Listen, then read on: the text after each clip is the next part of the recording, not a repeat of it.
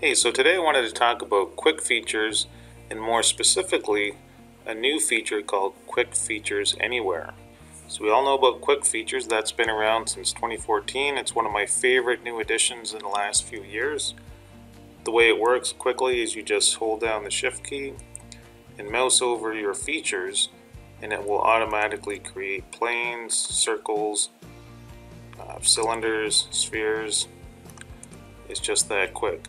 So the addition to the software in 2017, the enhancement is that now we can open a dialog box like a dimension dialog and create quick features at the same time. So you can see as I'm just creating the features, they're in the feature list of the dimension dialog. So we can just hit create and we have our dimensions.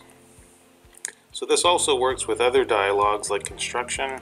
For example, if I want to construct a plane from points, I can just hold control and shift and you can see my vector points on the top there are, are being created and they're also being placed in my constructed plane dialog. So you can see I have five points. My plane 3, I can rename that if I want. Top plane and create. So it saves a few steps. So it's really nice, real quick. I really like this. They're really switching to this live mode, just mousing over features, quickly creating them, and incorporating them into dialog boxes. Okay, so that's about it. Just a real quick tip. Quick features anywhere, available in 2017 R1.